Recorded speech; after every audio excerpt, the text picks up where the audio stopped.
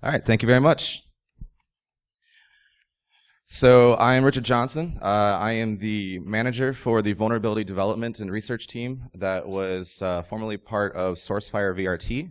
Uh, we're now part of Cisco and under the banner of Cisco Talos.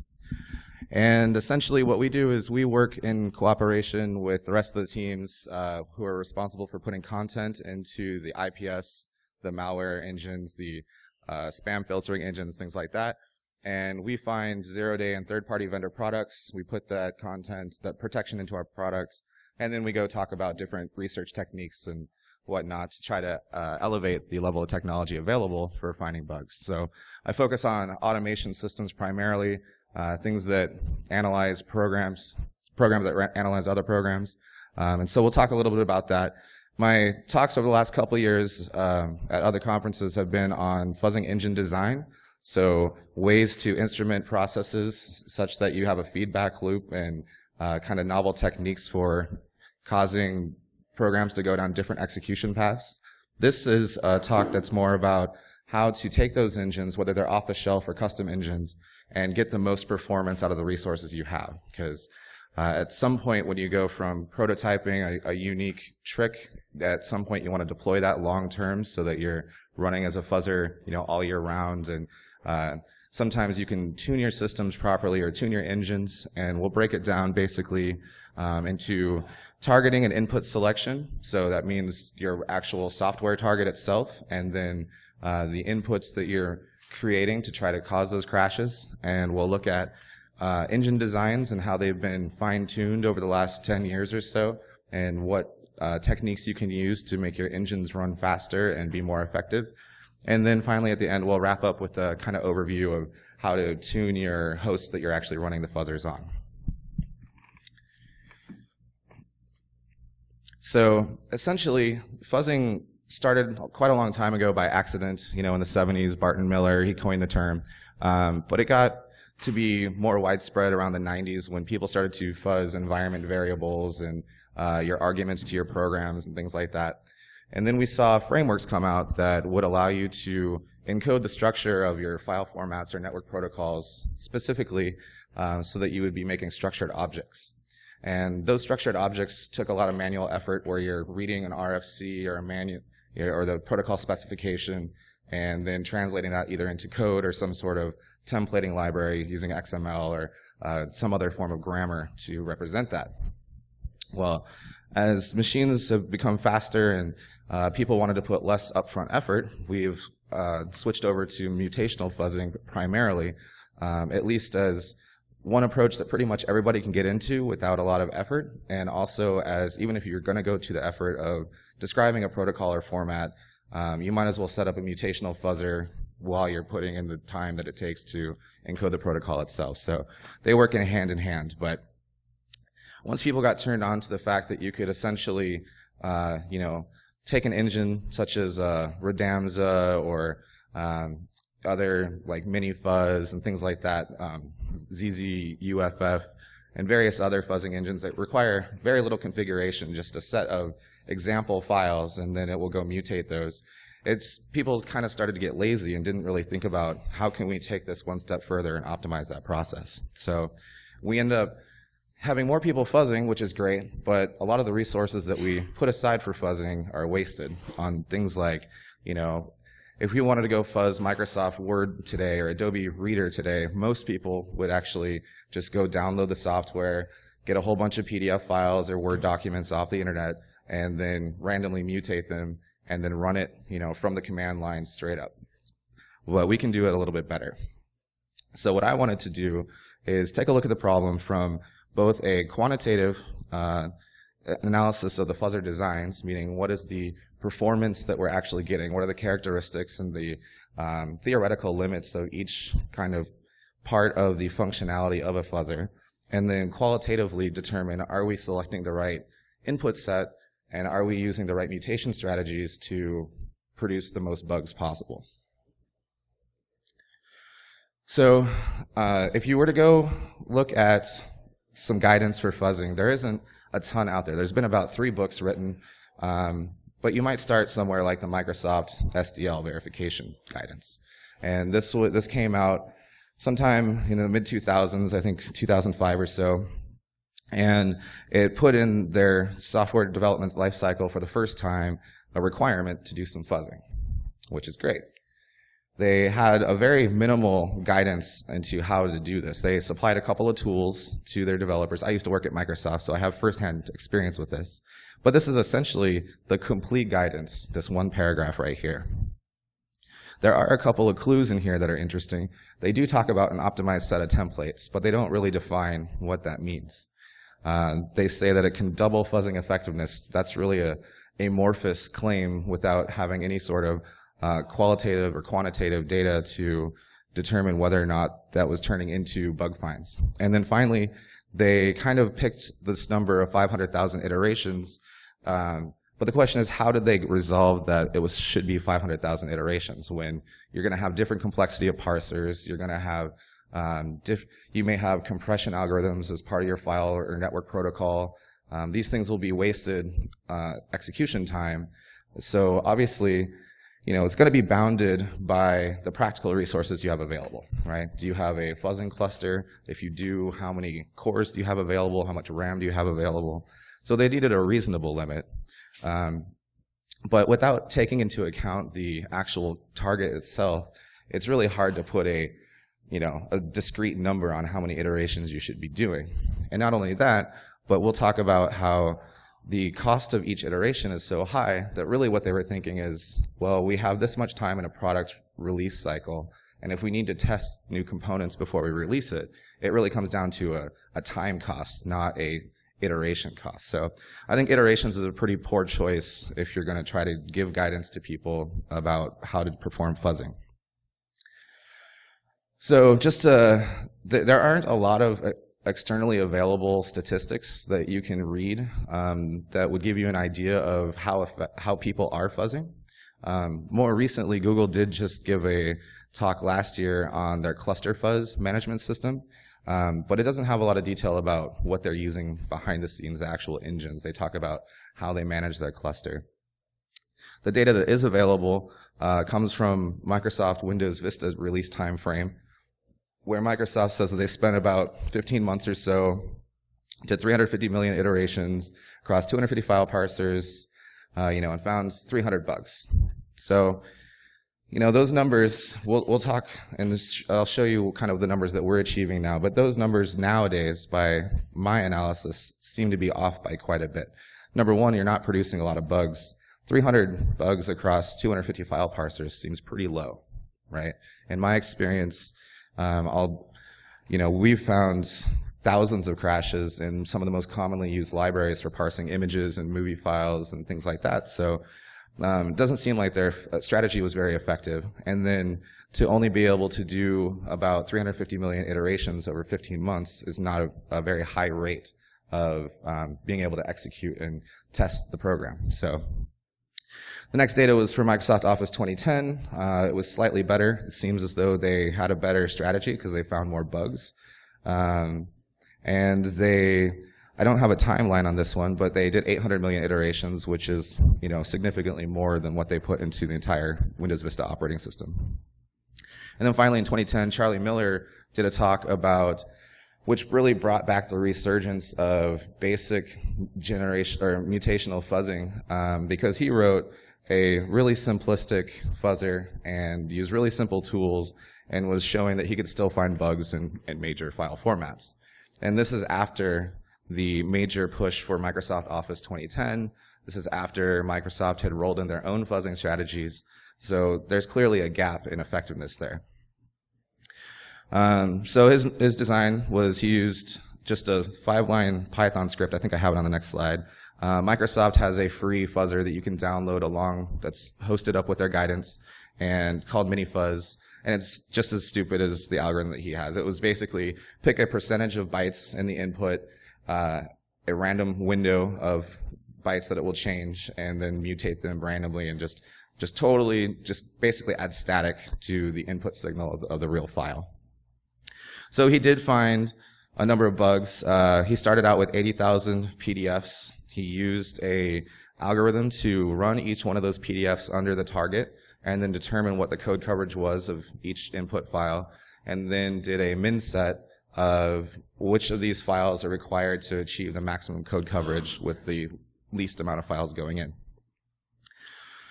So yeah, uh, in about three weeks, using just a five-line Python script and uh, AppleScript instead of something like Bash to iterate, uh, you know, he was able to find quite a few crashes. However, his results were still, he was waiting eight seconds for every iteration of opening these files. That's insane compared to what I'll show you in a minute. So, now we know what data is out there. How can we actually break down this problem and really think hard about optimizing each different step. First, the first thing that came to my mind was, well, target selection. And, you know, there's uh, the first decision you have to make is, am I going to be targeting the 32-bit version or 64-bit version of the application? And while that might seem like a very trivial choice, there's a lot of things that are non-intuitive about the speed and execution of a binary, whether it's 32-bit or 64-bit. Obviously, 64-bit binaries are, are, larger, and if you install like a 64-bit version of your operating system or uh, application software, it's going to take up more space on disk. So if you're limited on disk space, that might be a concern.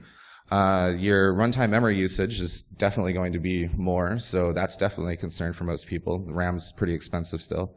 And uh, there's basically going to be some software that only comes in 32-bit, some that's only uh, there's some techniques for fuzzing that will only be able to be run on the 32-bit because it's using complicated introspection and debugging into the runtime process and so on. It's, and also, it's difficult to gauge exactly what the performance speed will be because it's really up to the compiler to utilize the extra registers in 64-bit uh, architecture that are available to make up for the fact that um, it has larger uh, like pointer size and takes up more space and obviously has to navigate more memory. So this turned out to be a bit of a wash. This wasn't a very interesting topic to begin with, and the data out there is not very solid. Uh, Chrome says that essentially it's a negligible effect on their installs. Uh, Photoshop seems to claim that there's an 8 to 12% speed increase in execution um, under 64-bit, and uh, the first data I could find dates back to old Sun SPARC, and they said that 64-bit was a lot slower. So that's pretty inconclusive. It's going to be software dependent. Uh, at most, maybe we're going to shave 10% in time, which is, you know, these are all going to add up as we go through and analyze these different tricks and techniques, but uh, this is one that I pretty much set aside as something that we're not going to resolve as a general scope. So what's more important is that rather than worry about how big your binaries are, how do we reduce the actual code that we're trying to explore? So once again, we don't want to wait for the GUI to pop up and, you know, for 50 libraries to load into your address space from the linker every time. And, uh, you know, that whole process of initialization is wasted time that you're not using to find bugs. So it's much more important to target libraries directly. And uh, we've even gone to the point where we'll reverse engineer the interfaces to APIs and write thin wrappers directly for uh, proprietary libraries that don't have functions exported necessarily. Um, so this is where you start to add in a little bit more time in the upfront, and it's not just a fire and forget necessarily. But once you do a little bit of legwork, it's going to be a much more effective strategy. I mean, it kind of starts sounding like you're going to be doing unit testing, but ultimately this does pay dividends uh, when you do fuzzing. And then the other thing you should think about is if your file formats or your protocols do incorporate some sort of compression or uh, checksumming, it's you're going to want to nullify that. Uh, so essentially, if, if if typically in let's say you have a PDF file, a lot of those sections are going to be compressed uh, as different sections in the PDF file. You can number one, you can tell it not to use the uh, deflate. You can actually put the raw data there if you add a different header to it. Or if it wasn't PDF that didn't have that functionality, you could just uh, you know, nop out the call that would normally decompress it and insert it into the file raw as the data that you want to mutate. And this turns out to be great because then you don't have to write a wrapper for uh, post-processing your data after you've modified it to fix up checksums and skip compression. So this will also be application specific, but it tends to be um, a high impact modification. So if you put the resources in, or if you put the time in to disable these features, um, it, it, pays off. There's a tool, um, if you're targeting Linux targets, that was released back in 2007 from Will Drewry and Tavis Ormandy called Flayer. It's a Valgrind plugin based upon the uh, Memcheck plugin, which does data flow analysis, and it lets you um, essentially tag different APIs and um, disable them using Valgrind, and then it outputs a file that you can pass on to GDB. So you do your analysis once, you figure out your points that you want to hook and skip over, and then you uh, feed this file to GDB. So then when you run it, you don't actually have to modify the binary directly. You can simply run it under the debugger, and it will do lightweight uh, skipping as that functionality. So it's pretty cool. Um, it allows you to use the power of Valgrind and then the speed of a normal debugger. So that's great. So the next thing we need to look at, once we've figured out our targets and we've primed our targets to not be wasting cycles, then is how, how do we pick the right inputs to start with? You know, it typically would be that we just go to Google and download a sample set and say, all right, let's go. But really, you need to think of input as a numerical set, right? And so the larger that set of data is, the search space is greater. And if you're using a mutational approach, then that means that the data space in total is going to be, the efficiency of your mutation is going to be dependent on the total size of the file. So in short, you just want the smallest file possible that, that will reach the functionality you're targeting. Um, DJ Bernstein actually wrote a pretty seminal paper a long time ago that talked about how protocol parsers and file parsers should be considered state machines. And this works similarly if you're more familiar with like the reverse engineering aspects or, or like code coverage metrics.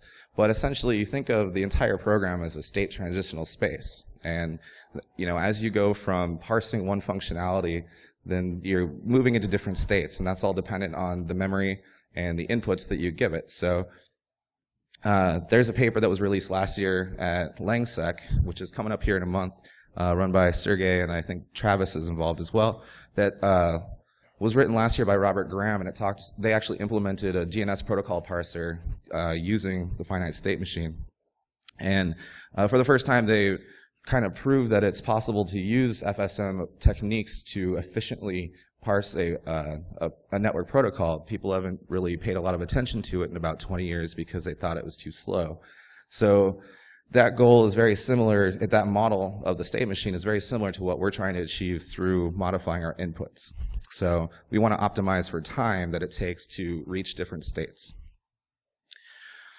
Um, the, by minimizing the file size, you can also target specific parts of the application. So it might be easiest to think about this in the sense like if I was to write a little JavaScript that interacted with some certain objects, then you know you know that you're going to be fuzzing those objects. So when you think about larger binary file formats, you should think about it the same way. You know, you want to target the new functionality or the things that have perhaps had bugs before, but people haven't looked at in a while, and now you have this new fuzzer engine that can get deeper or use a feedback signal or something like that. So by isolating the functionality you're interested in, you're not wasting time on features that are unlikely to be security relevant and things like that. So, um, the once you kind of if you do go with a larger corpus that you're not generating yourself, then the minset approach is valid.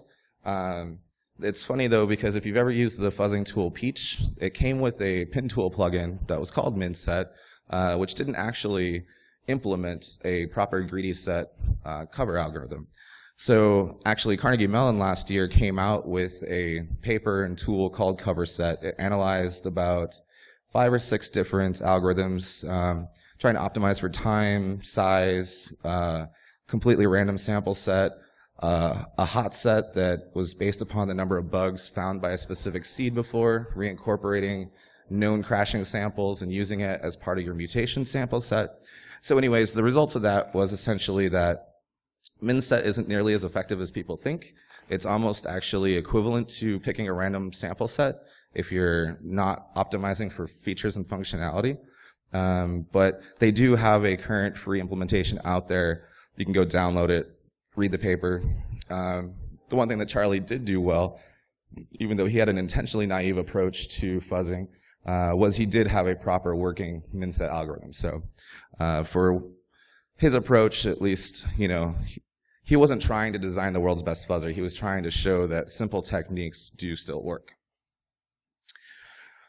So now we've isolated part of the, you know the programs that we want to target. We've kind of thought a little bit about the inputs that we want to manipulate to begin with. The next thing to think about is how are we going to manipulate those inputs? And that comes down to the engine design. About five, six years ago, if you thought about what goes into a fuzzing engine, you might have thought, well, we generate the new inputs, then we execute the target with the input, and then we see if it crashes, right? Simple. But really, now we have a lot, we have better techniques now that allow you to trace the target while it's under execution, and that will bring a feedback signal to your fuzzing engine itself, and it will know that if the mutation it just did reaches new code, then that's an interesting input, and that's a new input that we can mutate again in the future and see if we get to other locations. Um, so obviously we need to instrument the target if we want to gather a trace, and then we need to have a way for that trace to be real-time parsed and uh, you know gather that signal out of the trace. And then also we need to detect not only failure conditions but non-failure conditions. You know the simplest example of this is if you open a file uh, in a you know whatever, uh, acrobats or whatever it might be. If it's corrupt, oftentimes they'll catch that it's corrupt. It'll show a little dialogue. It'll sit there for a while. And the old strategy was, oh, well, if it sits there for five, six seconds, let's kill it and move on. But really, we can do better than that. We can look at the CPU timers and determine whether or not there's any load on the CPU. And so this is how we get many, many more iterations per second is by having a better analysis of what is the system doing while the fuzzing is going on. So when we start, uh, and then the final part, of course, is the actual mutations, the algorithms themselves that you're using to manipulate the inputs. So I can't actually see the crowd very well, but from a show of hands, has anybody here used American Fuzzy Lop before? You guys heard of that? Okay. What about uh, Radamsa? No? All right, so these are the two fuzzing engines that I use that are off the shelf. Um, I'll give you a, a quick um, description of these. Essentially, Radamsa it comes out of a university in Finland. It's the guys that turned into the company Codenomicon. Uh, and essentially what Radamsa does is it allows you to take a large set of input samples and then it actually concatenates them all together and then it looks for patterns that are similar across inputs and files and then it generates new files that have the same attributes and properties essentially. American Fuzzy Lop uh, will kind of briefly go over the actual algorithms they use, but its interesting trick is that it came with a compiler plugin. So when you compile an open source project with American Fuzzy Lop's GCC wrapper, it actually adds in a hook for every basic block. And this is a very simple hook uh, that essentially records, it assigns a, a numeric value to every basic block, unique number, and then it records, it XORs the previous block with the current block. What this is, is a, it's a state transition, right? You've taken a branch in the code that's based upon a condition. You know, if this, then go to this block. So it has a way to provide a feedback signal, and that signal is as simple as did we reach a new state? Because that's the most important thing. We are going to assume that we're going to run millions and millions and millions of iterations, so we don't really need to know much about what caused that state or you know any properties of that state. We just need to know that this input caused a new state transition, and so therefore this was an effective change to the file that allows us to explore more of the program. So this is, this is a key component that uh, up until about two years ago hadn't really been incorporated in any fuzzing. And this is a major game changer. But really quickly, the, the mutators that they do have is at every bit offset, they'll flip bits. At every byte offset, they'll flip bytes in different, you know, D-word, uh, short, you know, 16-bit, 32-bit size. Um, they will inject at every byte offset they will use boundary values for things like signed integers you know you might use a, a null or a you know decimal 127 or you know 255 things where if they're used in addition or multiplication would lead to things like integer overflows right uh, then they do a deterministic for every byte offset they do a series of manipulations which once again goes back to you need the smallest input size possible because you're going to go through all of these for every byte that's available. And then it switches over to doing uh, keywords that you can supply. So if you're targeting, let's say, a QuickTime movie format, they have little ASCII four byte tags that are at the header, part of the headers of the structure of different frames of the movie inside. So rather than having a fuzzer try to randomly come up with these new frame names, you know, which is a one in four billion guess, uh, you can supply a list of possible tags, and it will cycle through the file and add those tags in and try to get different sequences of bytes interpreted as different internal data structures. So that leads to interesting crashes scenarios as well. And then finally, it re- resorts to what it calls havoc, which is like the Charlie Miller uh, approach, which is pick a random set of bytes and mo- modify them and just continue that forever. And then every once in a while, go ahead and splice two different inputs that you've generated before together at an arbitrary offset. So that's the approaches AFL takes. Radamsa, I won't go through all of them because as you can see, there's three pages of these. But actually, if you were to read through these, they're very similar. Um, basically, what Radamsa adds is a lot more interpretation of ASCII type data. So it will find delimiters such as uh, XML or X- XHTTP, uh, you know, brackets or um, things like patterns that are that are common delimiters essentially, or even if it's not a known delimiter, if it's a arbitrary delimiter that some protocol determines is a good idea, it will recognize those automatically as well. I got turned on to Radamsa quite a while back, like almost 10 years ago now, and they were really, really cool because they had some functionality that they've since taken out because they were too expensive of operations, but they were very novel techniques. Things like, uh, you know, using n-gram analysis and using um, like the way that uh, compression algorithms work, right? They try to tokenize your input so they can make a short form that describes what the decompressed data looks like. Well, you can use that as well to take a short form of what your input looks like and then modify that a little bit. And then when you extract, decompress it, you end up with a jumbled output. Really cool tricks. Um, they even had uh, automata as well that would travel through the um, through the input, make using different techniques to modify the input at will. But like I said, they took that out because they found that doing more iterations in their more random set was more or less just as effective and less complicated. So, um, so what we can learn from these two is that if you're going to have, you should use a deterministic set of known boundary values and things that are commonly going to cause crashes if there isn't much robustness in the code for integer overflows and, and uh, you know, misinterpreting sign values. And then you should also not really have an end state to your fuzzing. You should be able to run a fuzzer and go on vacation for three months and come back and have it still running and producing crashes. You know, you do, shouldn't have to babysit it or say, oh, this file's done. I better go find a new one. You know, there should be a way to look at a sample set and continuously try to come up with new creative ways to find bugs out of it. And the only way that we can figure out this uh, the quality of the mutations is by adding that feedback loop that AFL did. So assuming that we've now picked one of these two engines or your own custom engine that incorporates this strategy, the next thing we need to do is execute the target as rapidly as, as possible, right? And that's not only uh, what I was talking about earlier, where we want to isolate the code, but actually literally reducing the overhead of executing a process over and over and over. Now, the way to do this, uh, what we want to do is skip the linking. Like I said, you know, if you have 100 megs of binaries being mapped into your process space for every iteration, we can skip over that, skip over the libc initialization, uh, we can skip over the cost of creating a new process address space, things like that. And the way to do that is by using a fork server. Uh, fork servers allow you to essentially copy the process near instantaneously on Linux uh, using copy on write pages. And if you're not familiar how that works, essentially, rather than creating a whole new process with its address space that it's loading binaries into, it creates a new virtual address space. And virtual address spaces for your processes are managed by the kernel through a data structure that maps real physical RAM into this virtualized address space that you have. And so all it needs to do is copy a very simple data structure uh, for the Linux fork implementation to clone that process and continue execution right from where you were. On Windows, unfortunately, and OS X, they don't have this functionality. It wasn't part of the kernel architecture. So there is no technical way to skip the populating new pages in the new process. But I got turned on to uh, what used to be the Unix subsystem, POSIX subsystem inside of Windows a little while back, but they somewhat removed it and it's only supported in enterprise editions and there's just basically a lot of hoops to go through.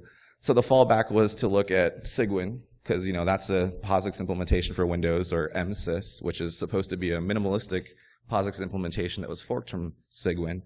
Um, and I was reading through the Cygwin archives from about 2007 or 8, and they had mentioned these two APIs, RTL clone user process and RTL create process reflection.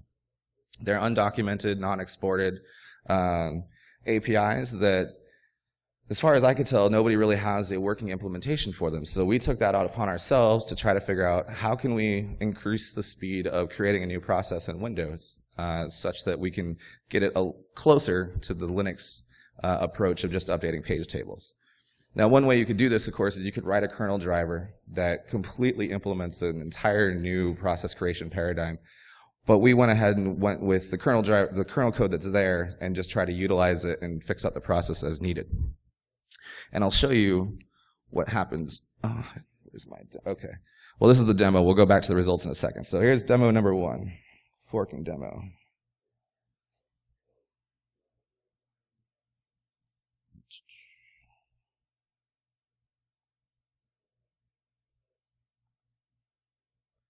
Oh, right. We're not mirrored.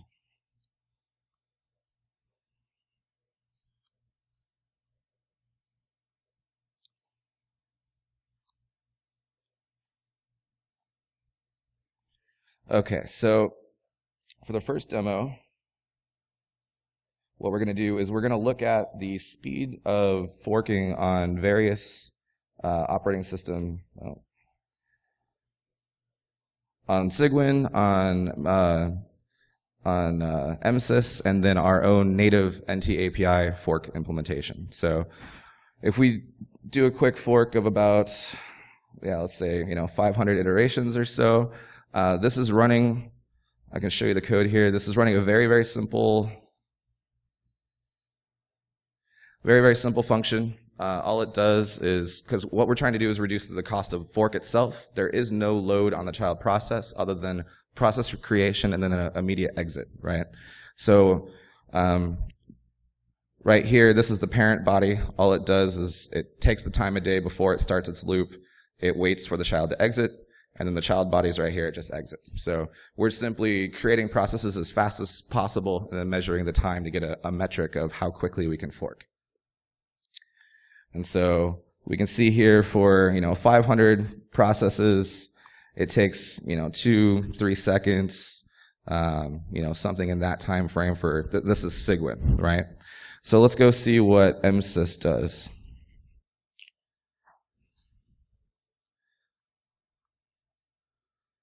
Do a thousand there. Now, we predicted that MSys would be faster than Cygwin because it's a minimalistic implementation. It doesn't have as robust of a fork uh, implementation as Cygwin does. And, but it turns out that it's slower. And so we went to investigate that, and they have not changed the fork API in MSys at all since they forked it in like whatever 2004 or something like that. So it's actually using less code, but less uh, efficient code in its in its algorithm.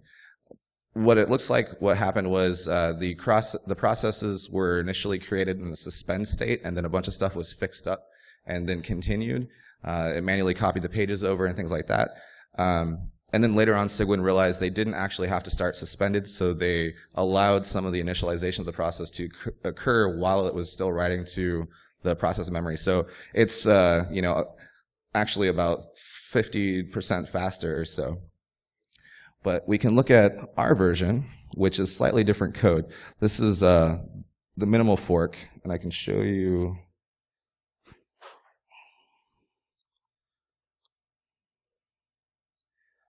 the essentially what we did is we took the same code right here and instead of using the POSIX fork functionality uh, on this line, we had to uh, implement using the NT create process API, which is going to be buried in my resolutions low. So uh, I'll just show you the timing on this real quick.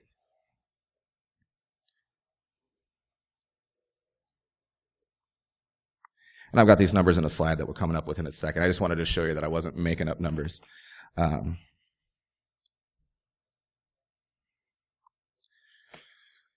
and we'll see that that one's twice as fast as the Cygwin timing. So if we blow this up to a larger scale of iterations, you will see that essentially over 10,000 uh, iterations, Cygwin does that in about 46 seconds. uh, which gives us about 213 executions per second. Uh, MSys is almost twice as slow as that, so we certainly don't want to use MSys as our shell and, and whatnot if we're trying to port over anything that's going to use a rapid forking.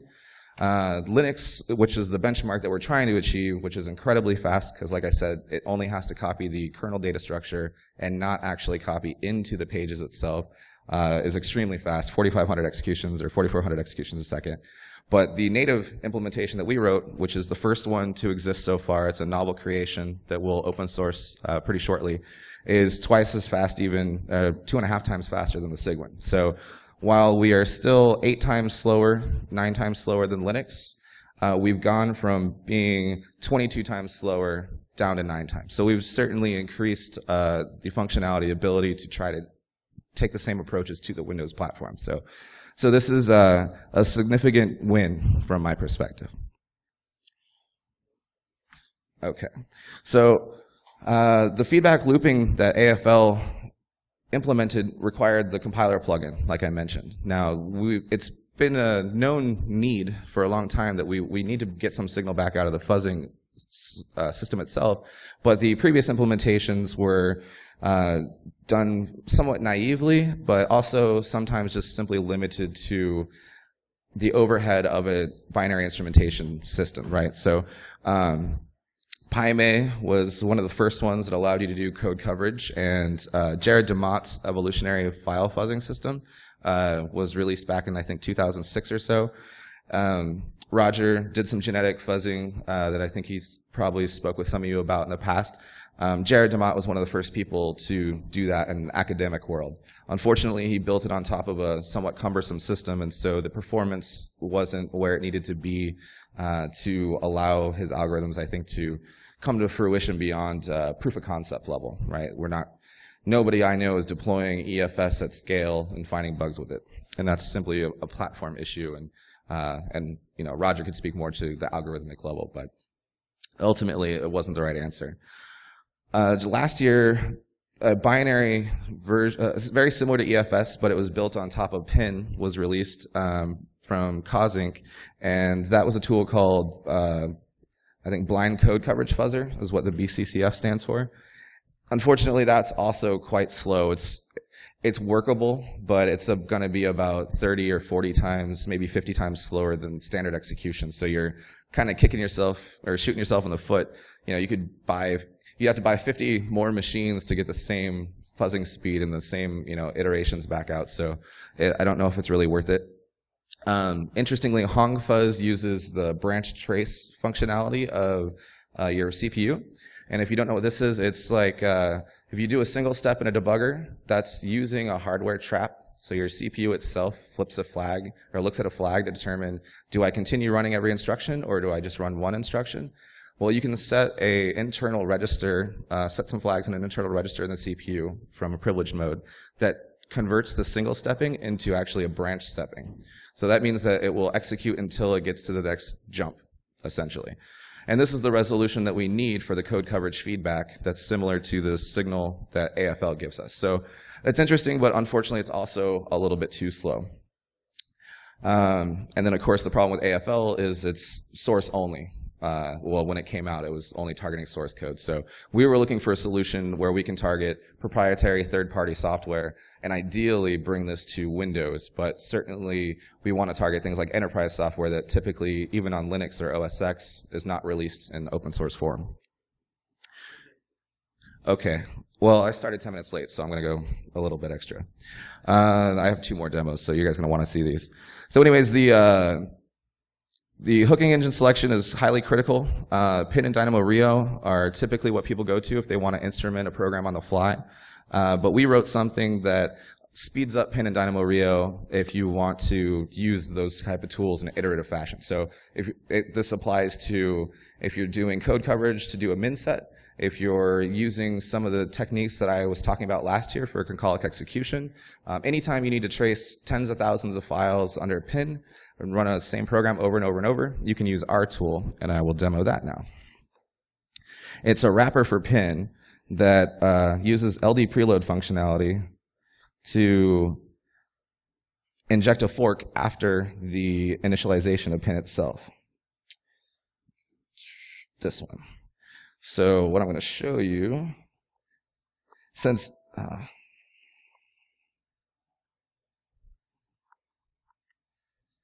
since it's difficult to deterministically find a new bug on the fly, I'm going to apply these techniques to a concolic execution engine that will crack a password on the fly, assuming my operating system comes back.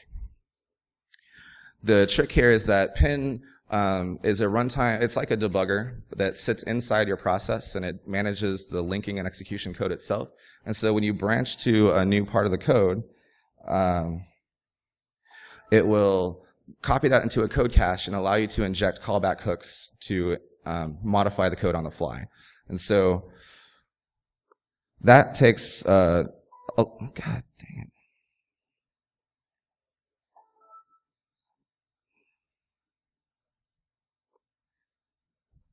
That takes uh, a lot of time because it does a full disassembly.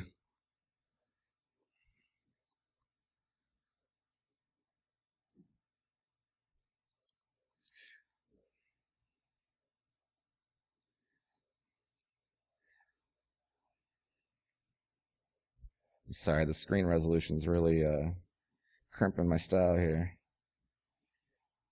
Okay, so what we're going to start with is an empty serial.txt, and this is going to be expected to contain an encrypted key uh, in this algorithm that we're going to automatically solve. So this is the key. It's basically XORed with uh, value, so it's a simple encryption, but the idea is to show how it, we're going to run over this, this function uh, 27, 28 times to solve the password, and what's going to happen is a pin tool is going to trace it and actually follow all the data flow and automatically determine uh, how to reach the next loop. So it, it, has a feedback signal that says that yes or no, this is the correct uh, character in the password or the serial, and um, it's able to look at the comparison that's done on the key that's hard coded in here against the key that's coming out of the file. So I'll show you what that looks like.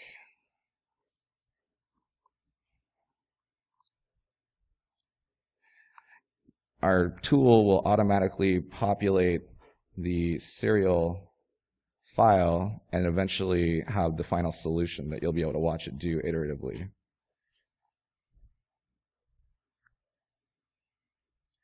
And first I'm going to run it with uh, pin only without our turbo tracer injectable shared objects. And you will see over here on the left It's off screen. Okay. So you'll see here that it's iteratively finding the serial number as it goes, right? So on, on, if you're looking at the bottom line here, it's saying, you know, this is my long serial, and it's discovering that by running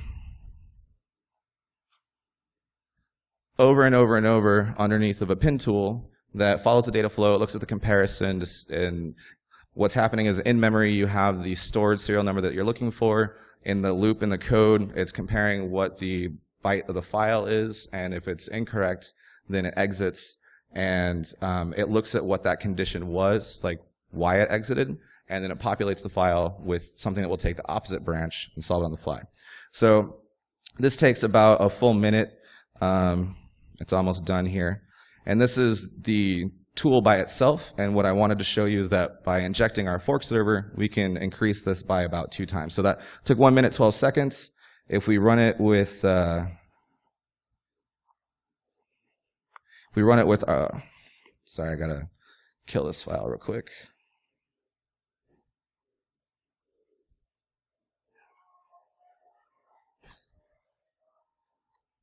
All right, so now with our with our shared object injection, uh, you will see that this will find it in a much, much faster time period. And uh, this is due to us skipping all the overhead of disassembling the target process and just using our fork server to, to do it very rapidly. So you can see visually that it's solving it, you know, nearly twice as fast. The time output will come up here in just a second and we'll be able to verify that.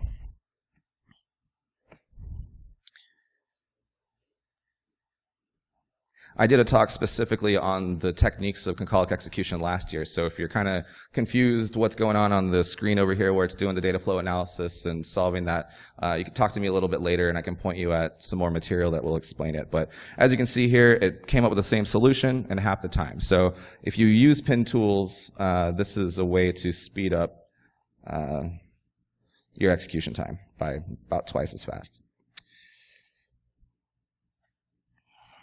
All right, so we're about to hit the third demo in just a second because now that we've got the uh, we've got the forking figured out, we've got our input figured out, we've got our targets figured out, we've figured out if we need a feedback loop, we can make pin twice as fast. We've made all kinds of great performance increases. So what's the last thing? Well, we still want to get these all tied together and working uh, with AFL and using a binary targets as opposed to source code, right? So you can reference this later if you like. This is uh, using different pin tools that you could go download yourself right now and, and see how it goes faster. The uh, the basic blocks pin tool will do a code coverage and that sort of thing. So um, there was one attempt to bring AFL to the binary world, and that was by modifying the QEMU engine so that QEMU would do basic block testing on the fly. Um, that's out there, but it only works against static compiled binaries. It only works on Linux targets and it's about four and a half times slower than running it at native speed. So we thought, well, there's one more thing that we can do to try to speed up the technology that's available right now. Uh, we can go look at a platform called DynInst. DynInst works a lot like um, it, it, more or less allows you to not only modify the program in memory as it runs, like Pin or DynamoRIO does, or Valgrind, Instead, it modifies the binary and then writes it back out to disk. And so that allows you to use the operating system's um, copy on write page mappings and uh, not have to deal with additional calls into the code cache and it eliminates any of the overhead other than the raw instructions that you're adding to bring that feedback loop out of it. So we uh, wrote a tool for DynInst. It's actually interesting little anecdote. I'll try to, I know I'm short on time, so I, I, won't go too deep, but Barton Miller, the guy that coined the term fuzzing, actually is still at University of Wisconsin. He's a elderly old gentleman now, the head professor, and he's the head of the DynInst project, just out of pure coincidence. So uh, I find it interesting that now I'm talking to the guy that more or less invented fuzzing by using his binary instrumentation system uh, to feed it back into a fuzzing loop. So it's kind of cool. So the results that we see here with this approach is actually that we can uh, target binaries with only a 30% overhead, which is until now more or less unheard of in any instrumentation for uh, doing fuzzing feedback and things like that. So I will show you that real quick, and then we'll wrap up uh, in just a second.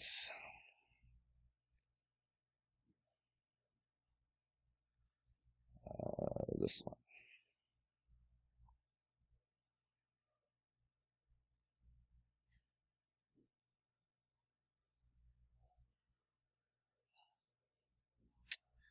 Okay, so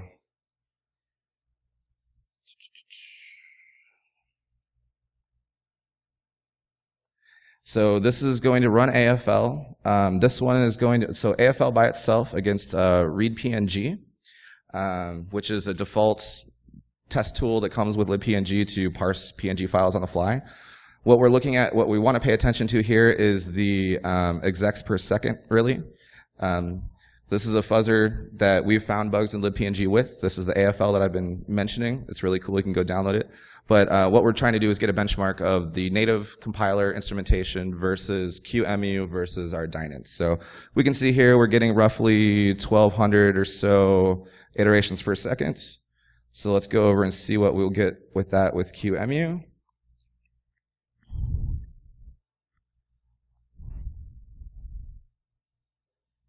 You can see that it's slowed down significantly. It's uh, you know, about 230, 240. Uh, so that's that was the first. That's the implementation that was available uh, to target binaries, static binaries. That's part of AFL. And then here's our new static binary rewriting approach, which will land somewhere in between um, and get as close to the original source instrumentation speed uh, as possible but still being able to target binaries and including dynamically linked binaries. So there aren't any restrictions on the binary target really. Um, and we're working right now to try to port this to Windows. So this is the last crucial step is getting the static binary rewriting functionality working um, on Windows. And right now, the only missing piece in that is that their disassembler is highly tuned towards GCC, so it doesn't recognize some of the compiler primitives that are output by Visual Studio. Um, so they're coming out with a new version pretty soon. But yeah, you can see here, look, we're at 800 some iterations per second versus 1200. It's not too bad, you know, right? 30% or so performance hit. So those three, um, those three tools are essentially uh, a state of the art right now. They have advanced the ability to do fuzz testing using these approaches. So um, the last thing is you need to bring out the traces in a sensible format. Typically what people would do is record all basic blocks hit and then post-process and diff and, you know, deal with a lot more data than they have to.